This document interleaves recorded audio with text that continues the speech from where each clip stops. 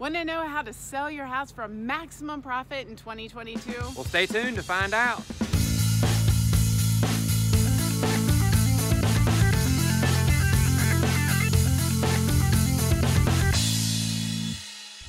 Hey, it's Hal Cone. And Kris Cone with Cone Realty Group. If this is your first time to our channel, please make sure you click that subscribe button, mm-hmm. that little bell icon so you're notified each and every time we release a new video about living, working, and playing in the amazing Roanoke Valley. And we're gonna give you some real estate tips here too. That's right. And if you're thinking about moving to or within Roanoke, Salem, or Botetourt, please give us a call, send us a text, or shoot us an email. We'd love to have a conversation with you. So today we are at Moyer Sports Complex here in Salem. And why would we be here in the first part of March or kind of middle of March now? Well, because spring is about to spring right? That's right. I'm saying spring is sprung, but not quite yet. But you know, whenever we see baseball fields uh, covered up with practices and softball. and softball and soccer going on, we think about spring. Yes. And when spring arrives, we usually see an upswing in what?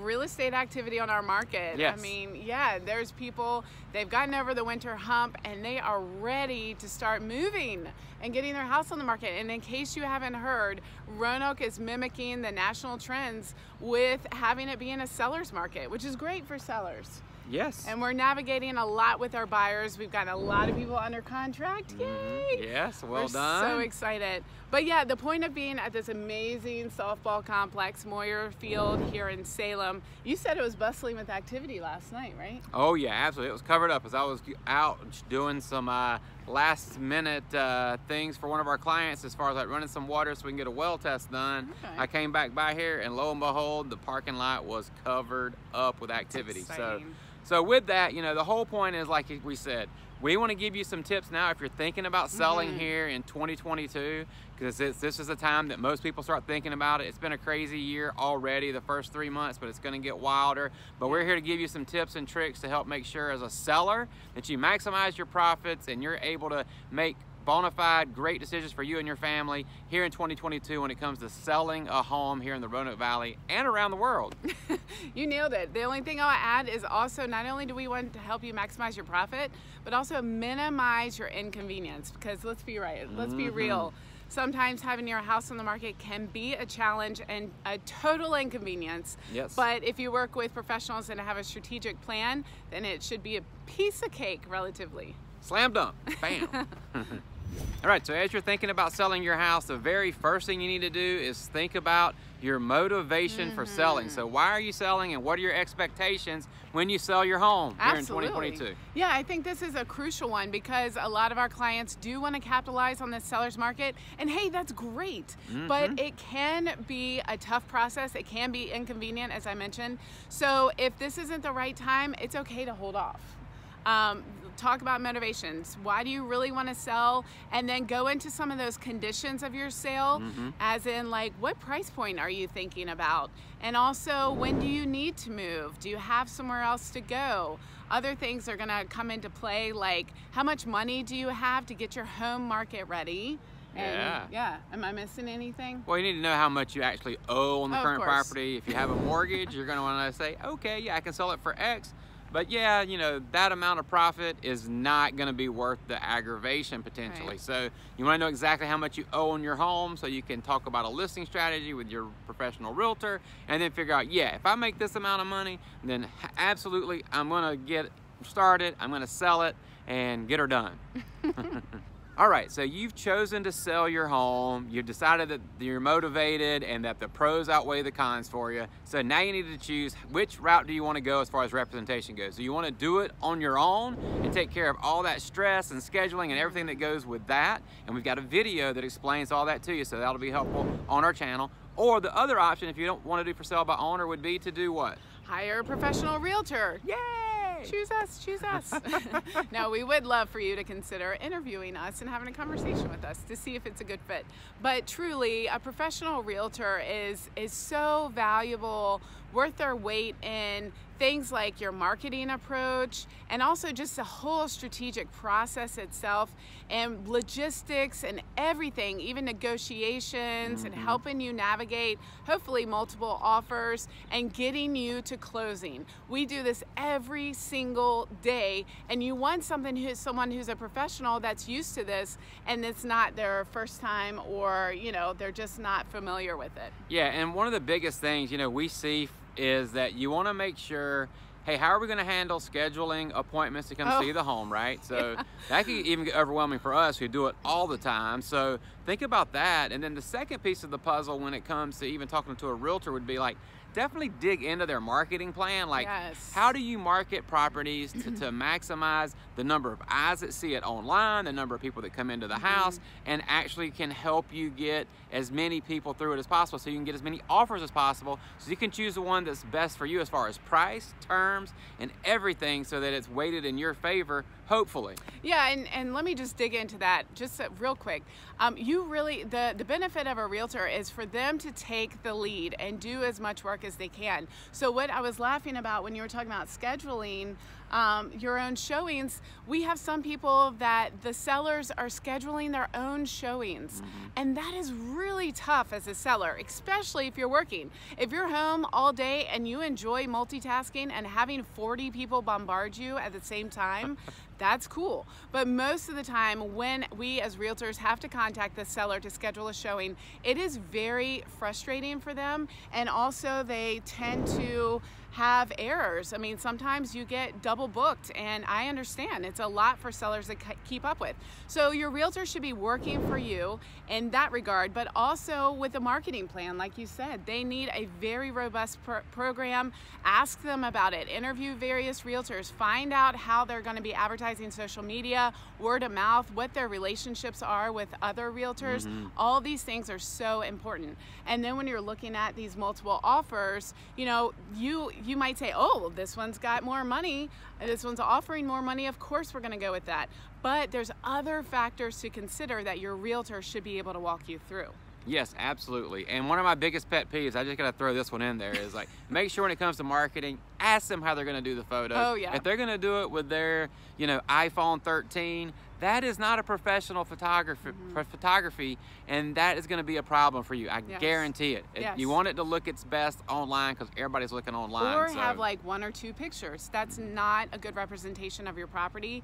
And I mean, we've seen so many horrible photos, and I am sure you have too, because people are looking online first. So we recommend professional photography, professional videography. All these things are going to make a huge difference in making your your uh, property stand out and getting you that maximum value. Absolutely. Well so, said. one last thing. Let's talk about walking through from once you have a contract all the way to closing, having your professional realtor by your side every step of the way is going to be huge. We'll tell you why a little bit later as we're talking about some hurdles after you've signed an offer. So we want to take a second to, to touch on marketing one last time here because it is so critical. And what you've got to do is make sure that you are being your property is being advertised over multiple channels and right. platforms. So your professional realtor should know all about that. And then also, don't skimp on those photos and videos and those types of things. Please use a professional. So professional photography is key. It's proven. Yes, amen. It's a must. uh, I also want to touch on two things here. It's really important that you let your realtor know about any updates or renovations that you've done, any um, mechanical systems or anything or roofing that you've yep. Repaired or replaced. That's that's going to set your property apart for sure, of course. And then also you want to talk about why you love the property because that's something that we can weave into the description of the home and also as you're talking organically and sharing it across social platforms is it that you love having coffee off the back deck and watching the family of deer come by ooh that was good that actually happened. or, you know, there's just so many stories. Why do you love the space? Why would you, what would you miss if you moved? And that's what we want to make that emotional connection with some of your potential buyers. Okie dokie. So you have chosen the way that you want to be represented, whether it's for sale by owner, going your own route, or you've chosen a professional realtor what you need to do now is start getting your home market ready. And there's mm-hmm. two pieces of the puzzle to that. So the first one would be home improvements. Yes. And we're talking about home improvements, we're talking about things like cleaning out your gutters. Like if you've got leaky faucets make sure you replace those. If you've got a stain in your ceiling somewhere make sure you get that painted over. Right. you know things that you see that are deferred maintenance types of things mm -hmm. clean up outside pressure wash the driveway the sidewalks you know make it look good on that front as far as like deferred maintenance take care of those things. And then the next step would be to actually do the interior and the exterior combined with professional what? Staging. Yeah we recommend professional staging and that sounds a little daunting, but really they're just consultants. Mm -hmm. We surround ourselves with a team of professionals that are really good at what we do because guess what? We're not stagers, we're not photographers, uh -uh. but we are great realtors. so we have, hey, even if it's one of your friends, if they do a great job, that's wonderful. If they're but... interior designers, absolutely. So lots of people have right. great taste when it comes to that. And yes. the point point of staging is to make it totally uh, to the point where the buyers could see themselves living there and they just go, ah, I love this place because it looks like it's HGT model home ready. HGTV, yes. Mm -hmm. A mm-hmm. lot of people walk in wanting that feel and that look.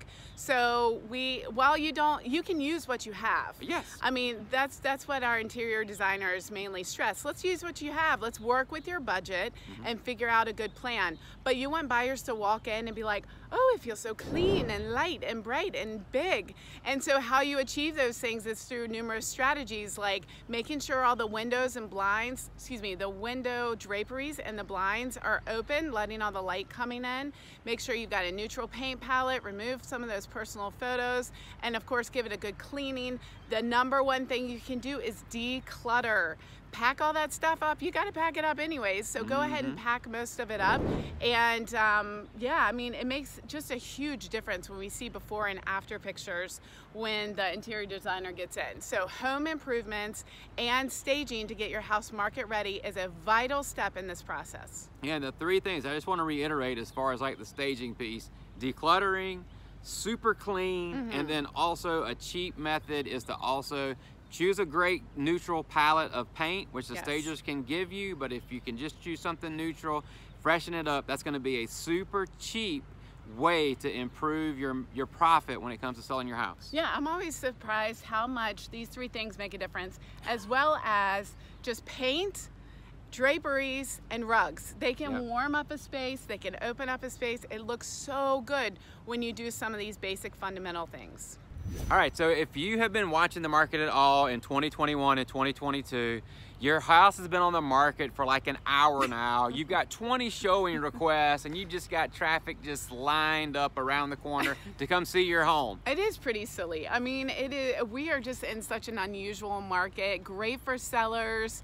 Um, and buyers too. And I mean, you're still getting some yeah. appreciation here too. So let's not say it's bad for buyers because no. it's not. No, it's just it's it just, just, rough. It's yeah, tough. It, it can be a, a long game for buyers in some situations. But yeah, it's not uncommon for some houses to go within a matter of hours, mm -hmm. and some having multiple offers on it. As many as 20 is what we've been faced with. Yeah, right? 21 last one that we were put offers Ooh. in on. So so with that, I mean, let's just fast forward here, right? right? So you got 10 offers, you got five offers, you got one offer, whatever it is, you've got an offer in hand, which is mm -hmm. a mm-hmm. conversation starter for you and the buyer to see if you can come to terms on something that you like when it comes to price, terms like appraisal, home inspection, those types mm -hmm. of mm-hmm. things, and you can have a conversation to come to an end goal that both sides are comfortable and happy with. Yeah, and I just want to remind you that just because you have offer or offers mm -hmm. in hand doesn't mean that you have to accept no. those.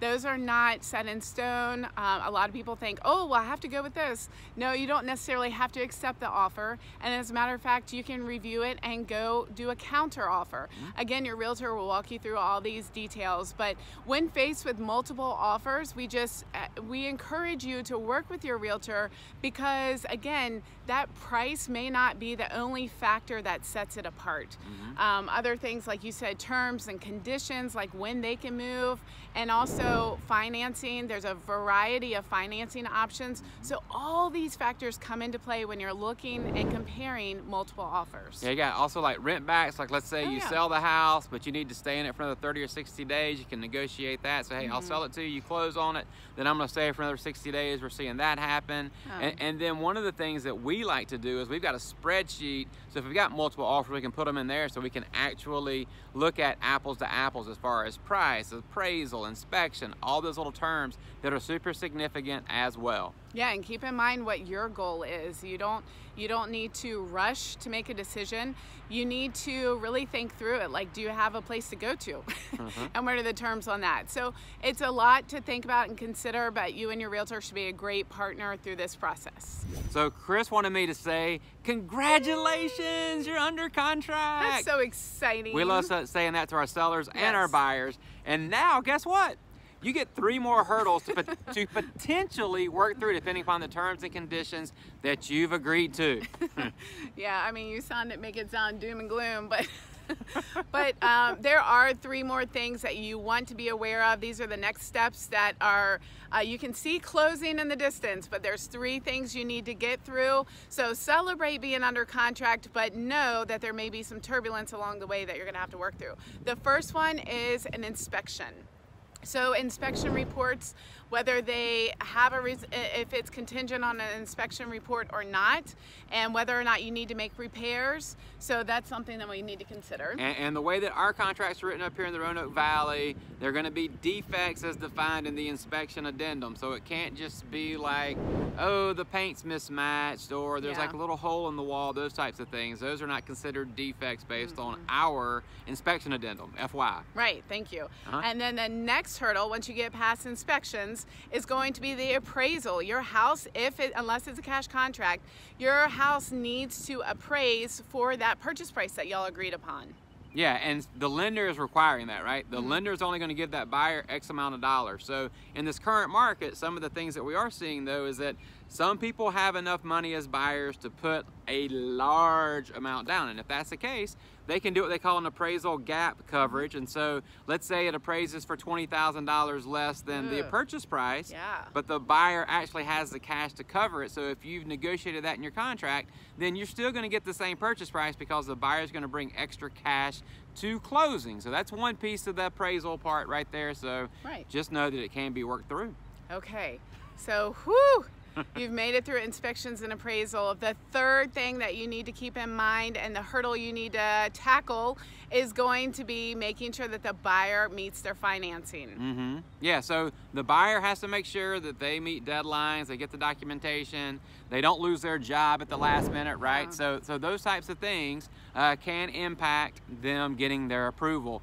I mean, most of the time, offers that we have come over, they've got a pre-approval letter. Right. They've already talked to a lender if they are getting a loan and they're like, yes, they're qualified because they've given them all the documentation they need. Mm -hmm. But sometimes you get things that come from left field that will derail it. So it can happen, but most most of the time, I would say 90% of the time, Sure. From what we've seen in yeah. our transactions, it's not a problem, but mm -hmm. it mm-hmm. could be. So just be aware. We just want to give you the um, the good, the bad, the ugly when it yeah. comes to what you're going to be dealing right. with when it comes yeah. to a real estate transaction. I always like to go in eyes wide open. Yeah. So you've passed through all three of those, or jumped over, soared over those three hurdles. The next thing is going to be closing. Closing is when everybody signs on the dotted line.